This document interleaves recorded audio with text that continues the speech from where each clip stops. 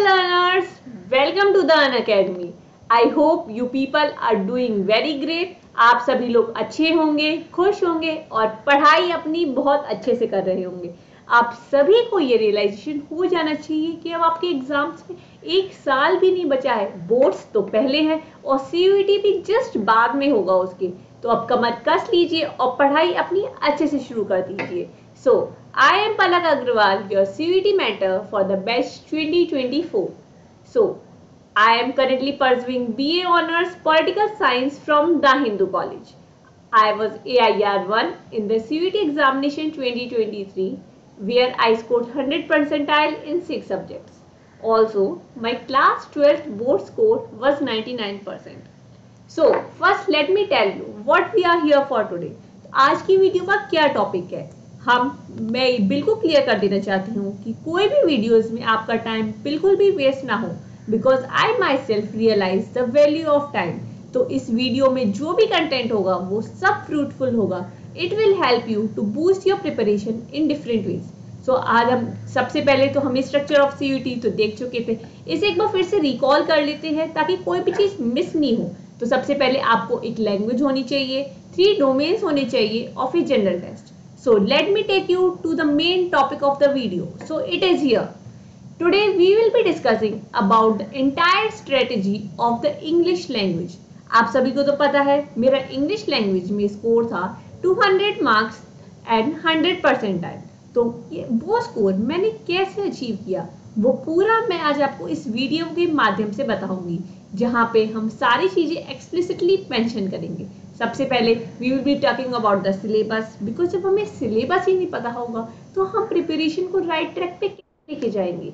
Then we will be talking about the preparation of language इसे हम तीन parts में डिवाइड करेंगे, क्योंकि अच्छे से डिविजन्स करेंगे, तभी हमें रियलाइज़ होगा कि हमें क्या पढ़ना है और कैसे पढ़ना है। Then we will be talking about the types of question the types of question which are asked under each section जैसे मैंने तीन सेक्शन में पहले डिवाइड करा था ग्रामर था वोकेबलरी थी रीजनिंग थी तो किस सेक्शंस में कौन कौन से क्वेश्चंस पूछे जाते हैं, उसको हम अच्छे से रिवाइज करेंगे। फिर I will be discussing about the most important topics इसको हम थोड़ा भी छुपा के रखते हैं, आराम से सबर करेंगे, तब आपको बताएँगे कि कौन कौन से इंपॉर्टेंट टॉपिक्स हैं। ये पूरा स्ट्रेटेजी फॉर इंग्लिश ये मैं आपको बता दूँ, ये मेरा खुद का पर्सनल स्ट्रेटेजी है। ये सारी प्रॉपर तरीके, ये स्ट्रेटेजीज क्वेश्चंस कैसे हैं कौन कौन से होंगे, ये मैंने खुद अडॉप्ट करे थे। तब ये मेरा स्कोर आया। तो अगर आप भी चाहते हैं ये स्कोर सेम लाना तो प्लीज़ इस वीडियो को पूरा देखिएगा स्किप मत नहीं कीजिएगा, क्योंकि मैंने इस पीडीएफ को, इस पीपीटी को खुद मेंशन करा है, खुद फ़ाइल आउट करा है, ताकि मैं आपकी हेल्प कर सकूँ वो सेम स्कोर लाने में। तो हम स्टार्ट करते हैं वीडियो को। तो सबसे पहले we will be talking about the language का सिलेबस तो सबसे पहले मैं यहाँ पर अपना पेन चेंज कर लेती हूँ। एक मिनट इसका कलर भी हम चेंज कर लेते हैं।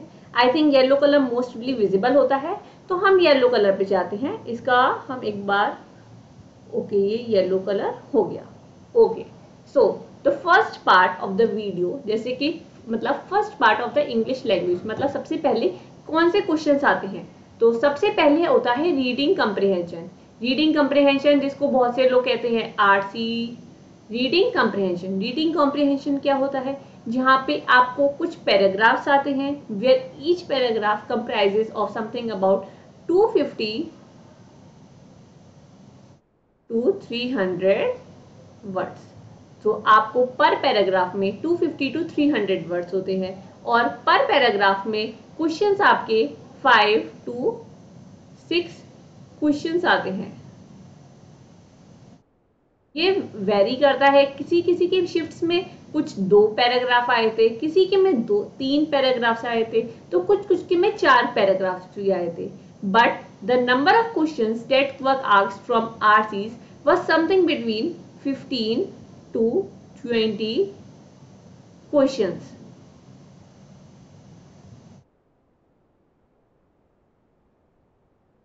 अब इससे आपको रियलाइजेशन तो हो ही गया होगा कि ये कितना ज़्यादा इंपॉर्टेंट टॉपिक है। तो सबसे पहले हम देख लेते हैं कि लेट मी चेंज में the colour of the pen जिससे आपको अच्छे से सारी चीज़ें समझ में आए।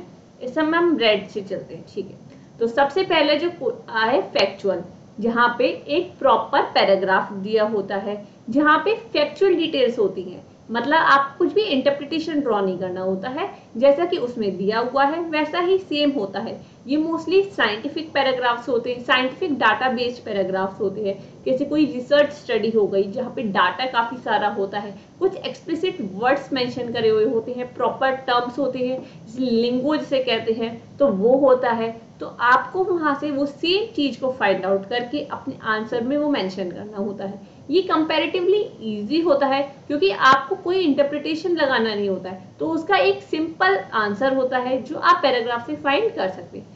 सेकेंडली बट जैसे मैंने कहा इजी डिफ़िकल्ट अगर आप मेरे साथ हैं, अगर आप अन अकेडमी के साथ हैं तो आपके लिए कुछ भी डिफ़िकल्ट नहीं होगा, क्योंकि यहाँ पर मैं हूँ जिसने खुद इतना अच्छा स्कोर किया है और हमारे पास है एक्सपीरियंस टीचर्स जो आपको बहुत ही एक्सप्लिस तरीके से बताते हैं कि आपको कब पढ़ना चाहिए, क्या पढ़ना चाहिए, कैसे पढ़ना चाहिए। तो हम बात कर रहे थे, हमारे सेकंड पे सेकंड नैरेटिव पैराग्राफ्स होते हैं। Narrative paragraphs can be described as something as descriptive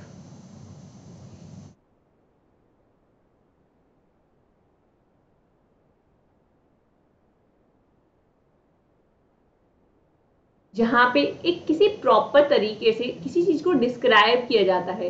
It can be a story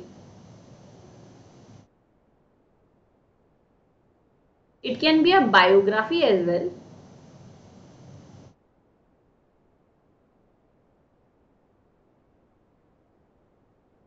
or a memory जहाँ पे ऑथर किसी पर्टिकुलर हैपनिंग को रिकॉल करता है।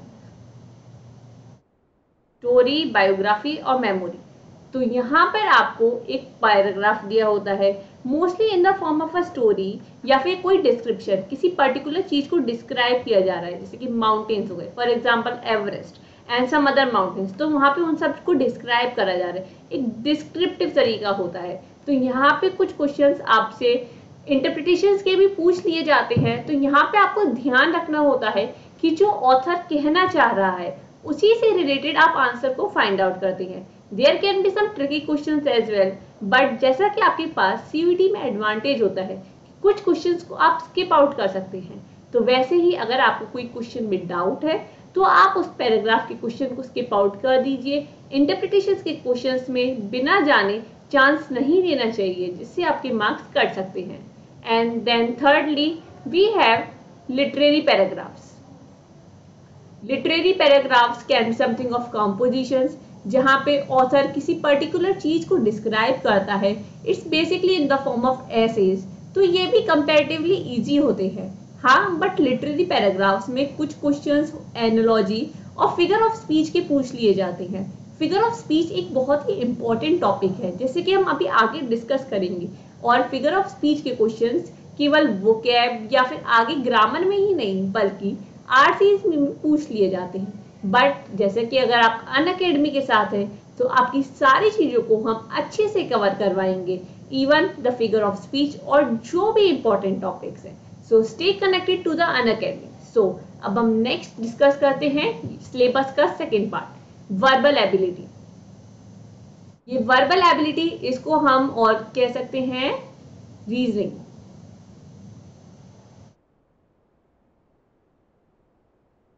verbal reasoning but let me tell you ये maths वाली रीजनिंग बिल्कुल नहीं है. जैसे कि हमारे पास कुछ बच्चे हैं जिनको मैथ से डर भी लगता है तो इसमें कोई बड़ी बात नहीं है बिकॉज़ ये साइंटिफिक फैक्ट है कि 91 percent of American and something about 85 percent of Indians have general fear of maths तो अगर आपको मैथ से दिक्कत है तो इसकी कोई बात नहीं है। क्योंकि यहाँ पे मैथ्स वाला लॉजिकल रीजनिंग नहीं है, यहाँ पे है वर्बल रीजनिंग जैसे कि अगर कुछ चीज़ एनोलॉजी दी हुई है तो उसको आपको रिलेट करके आंसर्स को फाइंड आउट करना होता है। And then the third one is rearranging the words जैसे कि एक सेंटेंस दिया होता है, और उसमें जैसे कि अगर ये ये वाला थर्ड सेंटेंस है, जैसे चूजिंग द करेक्ट वर्ड तो इसमें यहाँ पर एक ऐसे ब्लैंक ऐसे एक ब्लैंक और ऐसे एक ब्लैंक लगा दिया जाएगा। और ये चारों वर्ड्स को जंबल तरीके से लगा रख दिया जाएगा। फिर आपको उसे प्रॉपर मीनिंगफुल सेंटेंस में अरेंज करना होगा। जैसे कि फॉर एग्ज़ाम्पल हम ऐसे समझ सकते हैं, जैसे कि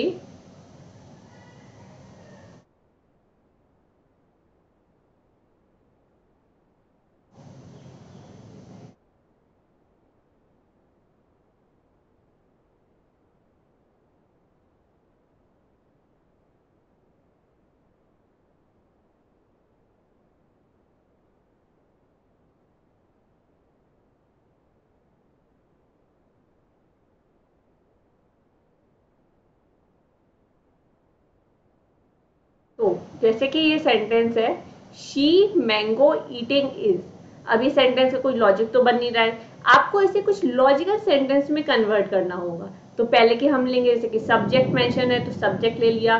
शी और मैंगो ईटिंग इज़ अब सब्जेक्ट के बाद वर्ब आती है तो यहाँ पर आ जाएगा। इज़ फिर उसके बाद वर्ब आती है तो आ गया third eating and then object आता है मैंगो तो शी इज़ मीटिंग मैंगो तो इसका ऑर्डर हो जाएगा वन टू, थ्री, फोर। तो ऐसे कि आपको रीअरेंज करना होता है वर्ड्स को to form a meaningful sentence एक मिनट, अब हम इसे रिलेज कर देते हैं ताकि हम थर्ड पॉइंट को अच्छे से समझ सकें। ये तो क्लियर होगा आपको? Okay guys so just a second तो the third one is choosing the correct word यहाँ पर आपको एक सेंटेंस में कुछ वर्ड्स दिए होते हैं। फॉर एग्ज़ाम्पल इसे हम फिलअप्स की तरह समझ सकते हैं।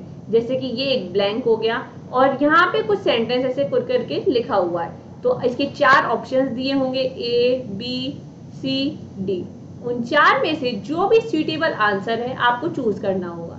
देन सिनोनियम्स एंड एंटोनियम्स जिससे बच्चे बहुत ज़्यादा डरते हैं, उन्हें समझ में नहीं आता हम कितने वर्ड्स याद करें। और कुछ मैं नाम नहीं लेना चाहूँगी बट कुछ टीचर्स होते हैं, कुछ यूट्यूब चैनल्स होते हैं, जो बच्चों को इतने सारे वर्ड्स याद करा देते हैं कि इसका सिनोनियम याद करो, इसका एंटोनियम याद करो, इसका मीनिंग याद करो, और बच्चों के पास एक बड़ी डिक्शनरी बन जाती है याद करने के लिए वर्ड्स को। बट ऐसा नहीं होता है। कुछ लिमिटेड वर्ड्स आते हैं सिनोनियम्स और एंटीनियम्स और ये रिपीटेड वर्ड्स होते हैं। ना कि केवल सी बच्चे जैसे अदर एग्ज़ाम्स होते हैं, उनमें भी यूज़ होते हैं। तो इसका मेरे पास एक प्रॉपर लिस्ट बना हुआ है। मैं आपको दूँगी कि कुछ कौन से इंपॉर्टेंट वर्ड्स है, उनको आपको फोकस करना है, और वो ही ज़्यादातर रिपीट होते हैं। And then we have spot and error spot and error वो होता है, जैसे कि एक सेंटेंस दिया होता है, और उसी में ऐसे करके ब्लैंक्स लिखे होते हैं, जैसे यहाँ पे लिखा हुआ है। और आपको जैसे ये सेंटेंस तो करेक्ट है, उसमें आपको ऑर्डर में तो होता है वो सेंटेंस पर उसमें कुछ ग्रामेटिकल एरर कुछ स्ट्रक्चरल एरर्स होते हैं तो उनको आपको फाइंड करना होता है। I hope I am making my point very clear अगर आपको कोई भी डाउट है, किसी भी सिलेबस में डाउट है, किसी भी टॉपिक में अगर आपको डाउट लग रहा है, कि आपको लग रहा है मैंने उसे अच्छे से एक्सप्लेन नहीं करा है feel free to comment in the comment section आपके सारे डाउट्स को क्लियर किया जाएगा। It is a guarantee by the Unacademy जहाँ पे बच्चे का कोई भी डाउट नहीं छोड़ा जाएगा। So let me take you to the next slide preparation of the English language इसको मैंने खुद अपना फ्रेम करा है कि कैसे मैंने अपनी इंग्लिश लैंग्वेज को तैयारी करी थी।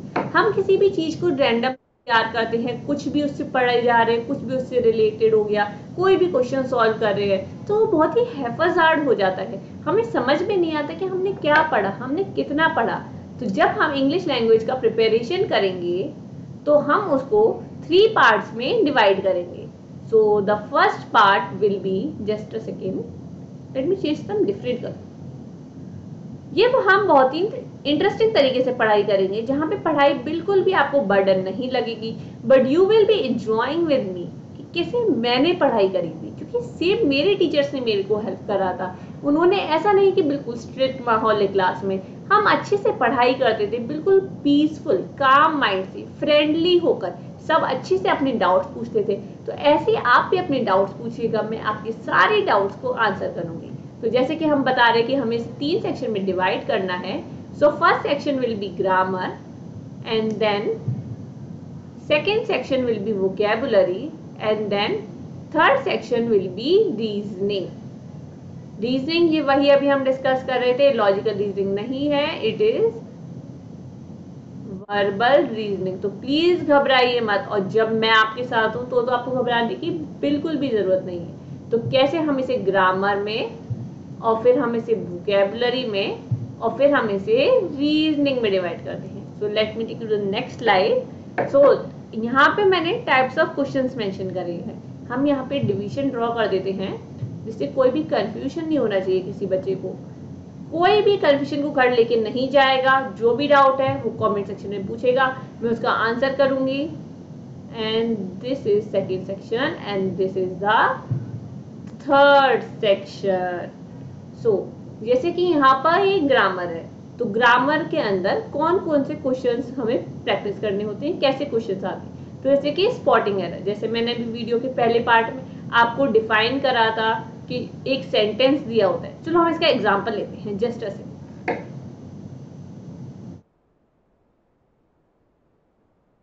यहाँ पर हम एग्ज़ाम्पल लेते हैं कि लिखा है ही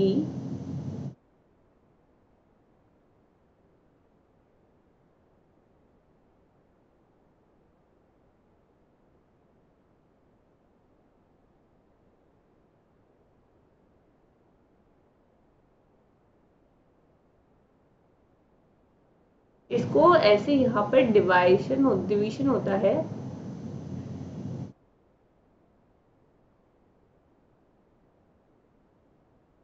और इसे हम नाम देते हैं one two three also it could be like A B C या डी अब आपको ये सेंटेंस दिया हुआ है। अब आपसे पूछेगा कि किस पार्ट ऑफ़ द सेंटेंस में एरर है? तो जैसे हमने देखा ही ये तो सब्जेक्ट है, ये तो सही है। ये सेकंड पूछा है आर अब हम ये सोचेंगे ये दिमाग लगाएँगे कि ही तो हो गया सिंगुलर और आर तो हो गया प्लूरल तो सिंगुलर प्लूरल साथ में कैसे जाएँगे? तो ये हो गया रॉन्ग यहाँ पे क्या आना चाहिए? यहाँ पे हम सोचते हैं, और ये ईटिंग ये तो सही है, और ये मैंगोज तो ये भी सही है। तो यहाँ पे ही के साथ आना चाहिए इज़ जो कि नहीं है। यहाँ पे दिया हुआ है आर तो एरर कौन से पार्ट ऑफ़ द सेंटेंस में हुआ? सेकेंड पार्ट में बी पार्ट में। So the correct answer will be to B ये टू भी मैंने दोनों मेंशन करा हुआ है। कभी कभी वन टू थ्री फोर करके पूछते हैं, कभी ए बी सी डी करके पूछते हैं। I hope I have myself very clear अब हम वापस चलते हैं अपनी स्क्रीन पे। स्पॉटिंग एरर समझ सबको समझ में आया ना? और इम्प्रूवमेंट ऑफ़ द सेंटेंसेस यहाँ पे आपको एक सेंटेंस दिया होता है और उसमें एक एरर स्पॉट करके दिया होता है। जैसे कि उस एरर को हाईलाइट करा होता है। चलो हम इसका भी एग्जांपल लेके समझते हैं। आपको यहाँ पे ना सारी चीज़ें बिल्कुल क्लियर करके दूँगी। कोई भी आपको डाउट नहीं होना चाहिए। जैसे स्पॉटिंग एरर है। तो इसमें दिया होगा शी एक मिनट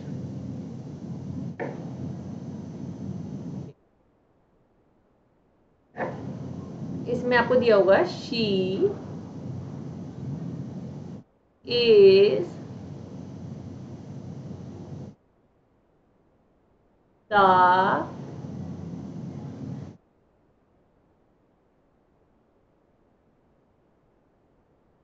beautiful girl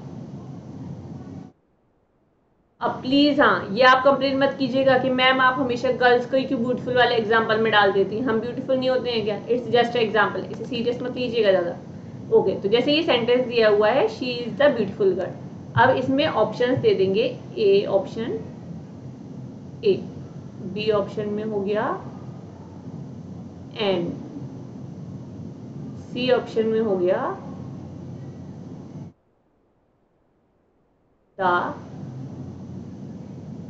ऑप्शन में हो गया नो आर्टिकल अब देखो कभी कभार तो मेंशन होता है कि किसमें हमें एरर ढूंढना है, जैसे कि यहाँ पे मेंशन हो गया द बट अगर मेंशन नहीं भी है तो हम इसे रिलेशन लगा सकते हैं, यहाँ आर्टिकल्स की बात हो रही है. सेंटेंस में आर्टिकल कहाँ पे है द में? तो जैसे ये है. अब हमें इसे ढूंढना है कि इसमें एरर है कि नहीं है. She is the beautiful girl अब अब ये जो यहाँ पर शी है, ये किसी पर्टिकुलर हम तो जानते नहीं है रैंडमली गैस कर रहे हैं रैंडम बोल रहे हैं। तो दा तो आएगा नहीं तो ए आएगा नहीं ए तो नहीं आएगा, दा कैंसिल हो गया। No article she is beautiful नहीं, ये भी नहीं आएगा। आंसर होना चाहिए ए इसीलिए इसका आंसर हो जाएगा ए आपको समझ में आ गया ना? जस्ट तो हम नेक्स्ट टाइप ऑफ़ क्वेश्चंस की तरफ़ चलते हैं। स्पेलिंग एरर्स ये स्पेलिंग एरर्स इनमें बच्चों को कुछ तो दिक्कत होती है, क्योंकि बच्चों को लगता है ये स्पेलिंग्स तो सारी सिमिलर लग रही हैं। जैसे कि एग्ज़ाम्पल के तौर पे वो ऐसे करके देख देते हैं। जैसे कि हम किसका एग्ज़ाम्पल देते हैं? साइंस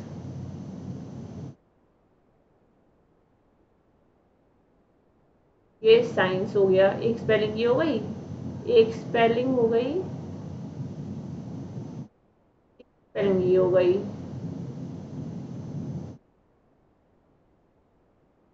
एक स्पेलिंग ये हो गई एंड एक स्पेलिंग ये हो गई। अब आपसे पूछेगा कि किसमें दिक्कत है? इनमें आपको क्लियर लग रहा है ना? ये एस सी आई है, ये एस सी सी आई है, ये एस सी आई ई है एस सी ई आई है। तो अब पूछेगा इसमें कौन सा करेक्ट स्पेलिंग है? तो आपको फाइंड करना होगा तो जिसका आंसर होता है जैसे ये साइंस तो इसीलिए आपको कंफ्यूजन नहीं होना चाहिए। जो भी वर्ड है, उसको आप एक रीड कर लीजिए। सारी स्पेलिंग्स मत रीड कीजिए और पहले खुद की स्पेलिंग लिखिए। जैसे यहाँ पे साइंस था तो मैंने यहाँ पे खुद की स्पेलिंग लिख ली साइंस की। अब मैंने देखा ये इससे मैच हो रही है तो फिर इसका आंसर हो जाएगा इसलिए ये वाला। और ये फिलअप्स होते हैं। Fill ups can be of different types जैसे कि इसमें आर्टिकल्स पूछा जा सकते हैं आपसे। वर्ब्स पूछी जा सकती हैं adverbs prepositions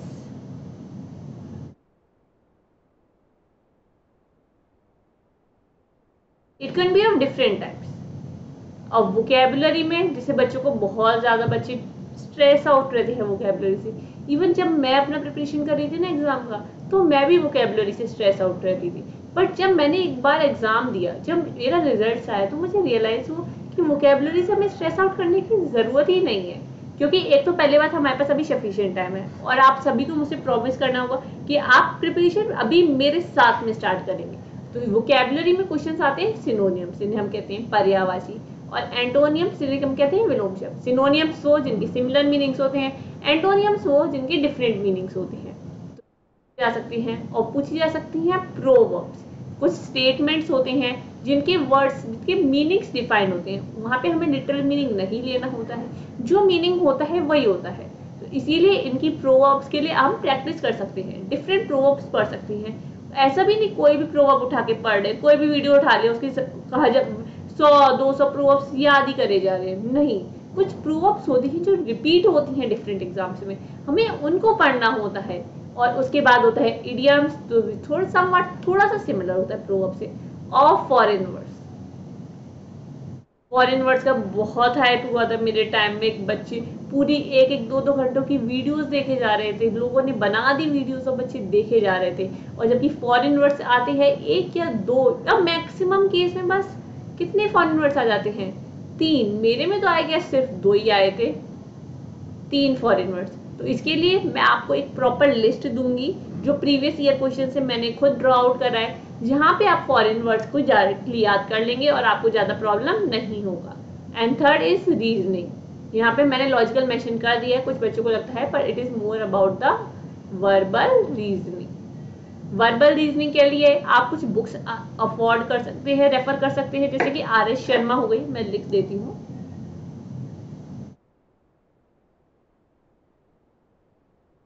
R S Sharma as well as I think Arihant का अच्छा है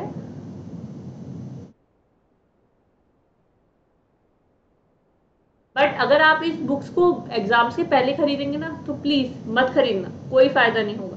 अगर ये बुक्स लेनी है ना, या फिर इनकी पीडीएफ रेफर कर लो, और अभी से स्टार्ट करो। जब हम रोज कुछ पाँच पाँच दस दस क्वेश्चन करेंगे ना तब जाके हमें परफेक्शन अडॉप्ट हो पाएगा। इसलिए रीजनिंग का प्रैक्टिस तो आपको आज से शुरू करना होगा। So nextly the most important topics जिसका आपको वेट था, ये जो टॉपिक्स मैंने खुद ड्रॉ आउट करे हैं, मैंने प्रीवियस ईयर क्वेश्चन सारे एनालाइज करे थे, जो जिस ईयर क्वेश्चंस मैंने दिए थे डिफरेंट डिफरेंट शिफ्ट के, और उससे पहले वाले। और जो मैक्सिमम क्वेश्चंस पूछे गए थे, वो इन्हीं टॉपिक से पूछे गए थे। जैसे कि वॉइस नरेशन जैसे कि हमको पता है, एक होता है एक्टिव वॉइस ये सारे टॉपिक्स आप स्ट्रेस आउट मत कीजिएगा, हम डिटेल में पढ़ेंगे सारे। Active voice and passive voice तो यहाँ पे आपको दे दिया जाता है सेंटेंस उससे आपसे पूछा जाता है, इसे या तो एक्टिव वॉइस में कन्वर्ट कीजिए या फिर पैसिव वॉइस में। और ये सेकंड टॉपिक होता है स्पीच इसे भी हम डिवाइड करते हैं दो पार्ट्स में। एक तो हो गया आपका डायरेक्ट स्पीच एंड सेकेंडली हो गया आपका इनडायरेक्ट स्पीच डायरेक्ट स्पीच ये तो पता होगा, अगर किसी को नहीं पता है तो मैं बता देती हूँ। डायरेक्ट स्पीच होता है, जब हम सेम सेंटेंस को कोट करते हैं इनडायरेक्ट स्पीच होता है, हम उसे अपने तरीके से कोट करते हैं। आर्टिकल्स बचपन में पढ़ा था? याद है ना? A N the bus. इतना ही सिंपल आता है। सारे क्वेश्चन सिंपल होते हैं, किसी से भी डरने की ज़रूरत नहीं है। बहुत लोग हाइप बना देते हैं, ये है, वो बहुत ही पेपर होता है। और अगर आप मेरे साथ और अकेडमी के साथ रहेंगे ना, आपका पेपर बिल्कुल मस्त जाएगा, पूरे मार्क्स आएँगे I guarantee you figure of speech figure of speech होता है, कुछ एलॉजिकल वर्ड्स हम यूज़ करते हैं, कुछ पर्टिकुलर चीज़ को रेफर करने के लिए। ये मोस्टली पोएम्स में यूज़ होता है, जैसे डिफरेंट फिगर्स ऑफ़ स्पीच होती हैं। मैं मेंशन करती हूँ, उनको स्पेसिफिकली मेंशन करती हूँ। एक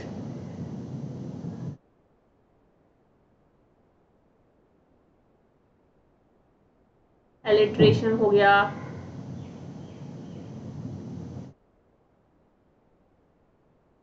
या आयरनी हो गया। हमारा सबका फेवरेट जो बहुत ईजी होता है फाइंड आउट करने में सिमली हो गया। ऐसी फिगर ऑफ़ स्पीच होती है और कोई ज़्यादा डिफ़िकल्ट नहीं पूछी जाती, बहुत ही बेसिक पूछी जाती है। मेरे पेपर में दो सिमली के क्वेश्चन थे।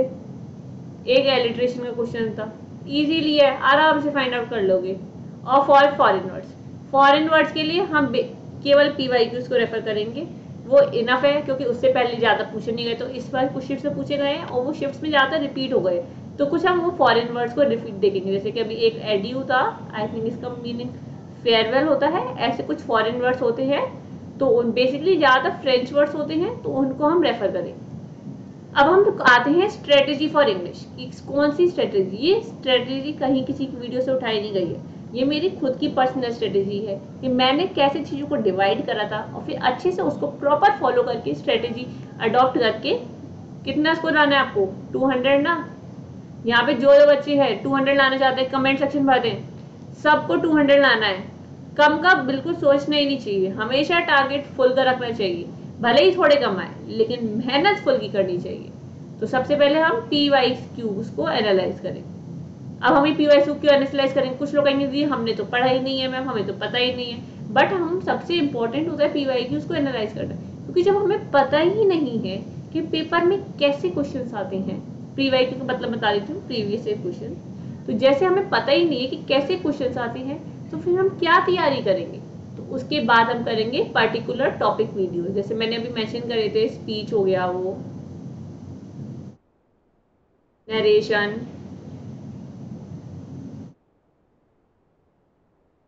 पिछले टॉपिक्स ही मेंशन करें हैं मोस्ट इंपॉर्टेंट टॉपिक्स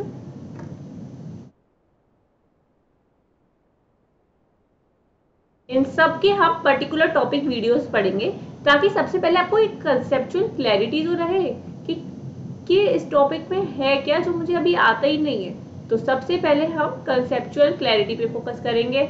ऐसा नहीं कि 500 क्वेश्चन चल रहे हैं वीडियो में 200 हज़ार क्वेश्चन चल रहे हैं, कोई फ़ायदा ही नहीं होगा जब हमें टॉपिक ही नहीं पता होगा। फिर उसके बाद हम पी वाई क्यू सॉल्व करेंगे। पूरा मैंने बना के अपना बंडल बना के रखा हुआ है, जहाँ पे जो मेरा खुद का पेपर मैंने सॉल्व करा है, वो हम पेपर सॉल्व करेंगे।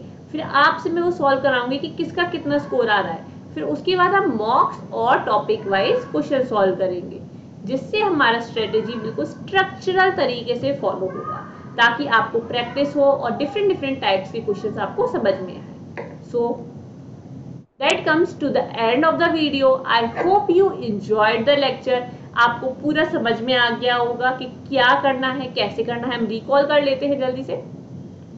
ये इंग्लिश लैंग्वेज का सिलेबस है। सबसे पहले चीज़ पूछे जाते हैं। वर्बल एबिलिटी पूछा जाता है। रीअरेंजिंग द वर्ड्स पूछे जाते हैं। फिर जो चूजिंग द करेक्ट वर्ड पूछे जाते हैं दैट इज़ फिलअप्स हो गए। फिर सिनोनियम्स और एंटोनियम्स पूछे जाते हैं। एक मिनट में हाईलाइटर ले लेती हूँ ताकि आपको अच्छे से लेजर पॉइंटर आई थिंक सही रहेगा। वर्बल एबिलिटी ये सिनोनियम एंटोनियम्स और स्पॉट टेरर फिर उसके बाद प्रिपरेशन ऑफ़ इंग्लिश इसको हमने डिवाइड करा था सबसे पहले ग्रामर वोकेबुलरी और रीजनिंग टाइप्स ऑफ़ क्वेश्चन जो पूछे जाते हैं ग्रामर में स्पॉट द एरर पूछे जाते हैं, फिर इंप्रूवमेंट ऑफ़ सेंटेंसेस पूछा जाता है स्पेलिंग एरर्स पूछे जाते हैं और फिलअप्स पूछे जाते हैं। फिलअप्स में ये जो चीज़ें मेंशन करनी है वो, फिर वोकेबुलरी में सिनोनियम्स एंटोनियम्स वो आइडियम्स फॉरेन वर्ड्स रीजनिंग में वर्बल रीजनिंग पूछी जाती है, बहुत सी बेसिक लेवल की पूछी जाती है। इंग्लिश का पेपर है मैथ्स का पेपर नहीं है। फिर ये most of the important topics I guess इसका सब स्क्रीनशॉट ले लेना चाहिए। Most of the important topics है मेजर क्वेश्चंस यहीं से पूछे जाते हैं। फिर ये स्ट्रेटेजी फॉर इंग्लिश इसको हम, ये स्ट्रेटेजी इसका पहले अच्छे से समझो, क्या करना है, उसके बाद तैयारी स्टार्ट करो। और एक बार ये अच्छे से समझ लेंगे ना तो आपकी तैयारी बहुत ही स्ट्रक्चरल तरीके से रहेगी। ऐसा नहीं कि वेगली कुछ भी पढ़े जा रहे इसको अच्छे से आप फॉलो करेंगे और मेरे साथ फॉलो करेंगे अन अकेडमी के साथ फॉलो करेंगे, ताकि आपको एक प्रॉपर सपोर्ट रहे कि आपको क्या पढ़ना है और कैसे पढ़ना है। So I think here comes the end of the video I would like to say big thanks to all of you मैं लिख देती हूँ। आई होप आप लोगों को अच्छा लगेगा।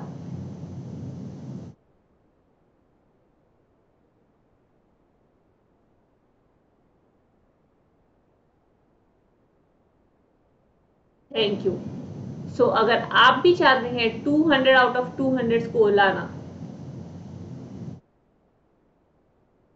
in language as well as in the domains तो आज ही क्या ज्वाइन करना है आपको?